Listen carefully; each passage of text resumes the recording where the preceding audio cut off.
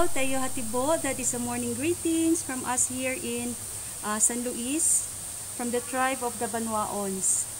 So, uh, going to our office, we are going to ride in this multi-cab donated to us by our municipal LGU. With me here is our district driver, si Kuya Felix. Say hi, Kuya Felix! Unya, napapoy kauban din ni ano, amo ang gitawag nga inahan sa kanuning panabang sa alsog sa mga IPs, no? Si Mami Serela or District ALS Coordinator. Hi, Mami! Unya kay, tabian man ko, no? So, ari lang ko sa likod mo sakay.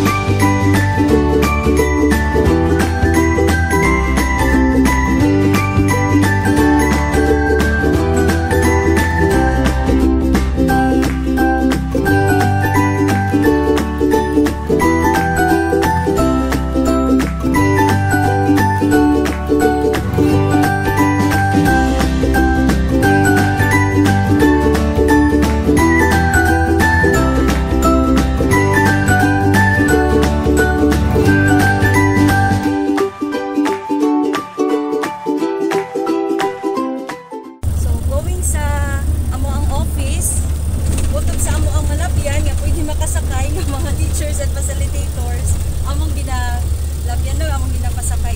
So, thankful kayo sa among LGU, nga service,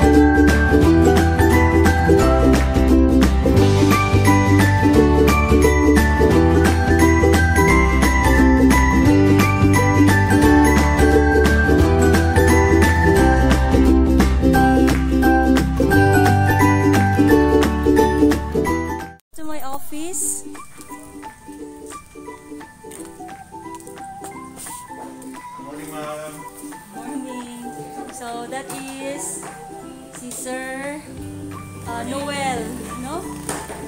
My cousin, no, and also a teacher. This is also Sir Wendell. Hi, Sir Wendell. No? Also a teacher and an ICT coordinator.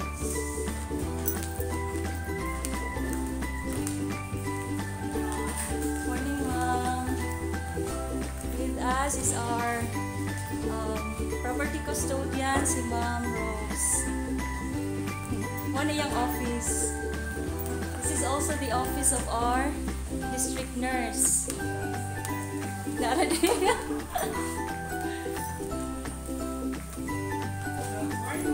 Morning.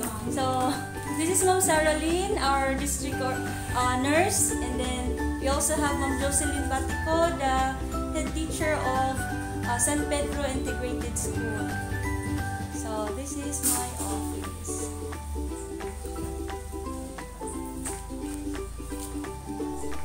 Also our district ICT coordinator, Sir Ramil Manlikayan. He is also our IP Ed coordinator. Hi, Sir Ramil. Good morning. Muna siya mong saligando diri sa opisina in terms sa ICT concerns. This is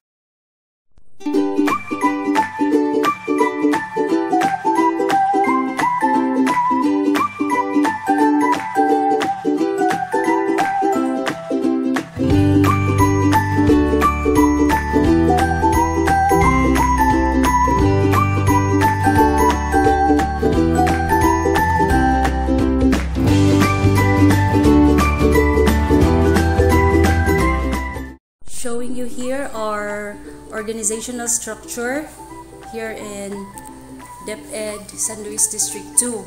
So we have 27 schools in formal education. We have 22 elementary and 5 high school. We also have 10 community learning centers for um, the alternative learning system. So these are our different uh, school heads and our district coordinators.